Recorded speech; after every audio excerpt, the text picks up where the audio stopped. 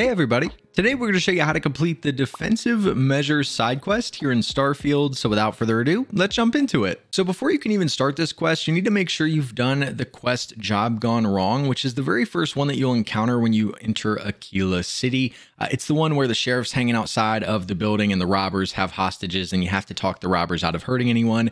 Pretty simple, I'm sure everyone watching this has already done it, but once that is complete, we'll be able to move on with the quest for this video. So to start defensive measures, you want to work your way over to the Cheyenne system. We're going to go right over here to Akila and fast travel to Akila City.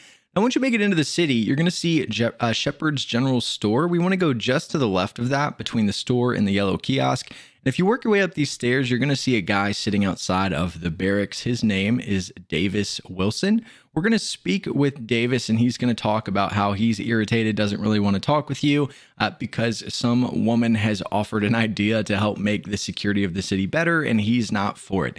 So he's going to be grumpy. We're just going to speak with him a little bit, ask him about what she was uh, trying to do. He's going to give his little spiel. And once you're finished speaking with him, the quest will then begin. So, again, we'll talk to him a little bit more.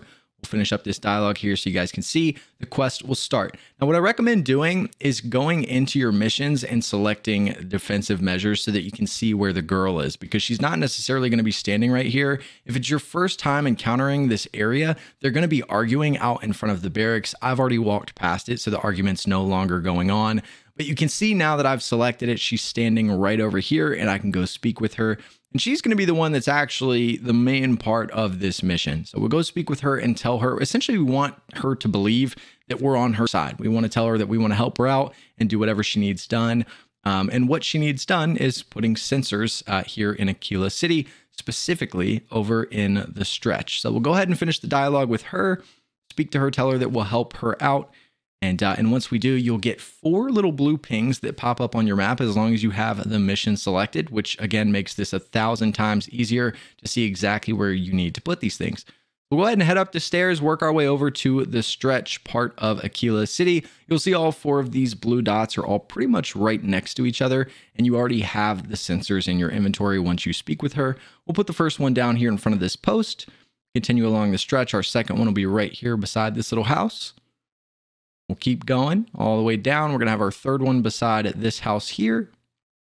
And then our fourth and final sensor is going to be right over here beside the staircase. And once you've finished placing all four of the sensors, the quest will then update and all we need to do is head back over to Keone's location. She'll probably be wandering around. So again, make sure you have the mission selected so you can see exactly where she's at.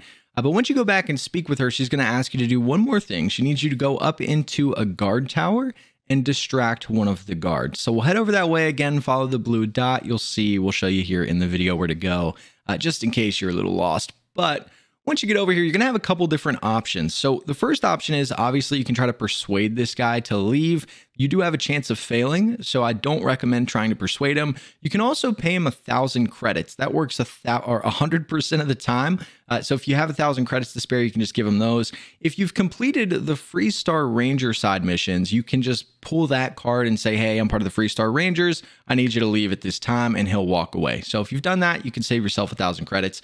But once you get him to walk away, the quest will update. We can go back and uh, and speak with Keone. And once we do, she'll be thrilled that we did so. And uh, and the quest will update, and you will have completed defensive measures. Now, depending on what level you are, I was able to get 12,500 credits as well as some XP. But you will get your rewards once you finish. But that's how to complete defensive measures. If you guys have any other questions, make sure to leave them down in the comment section below, and we'll see you guys in the next video.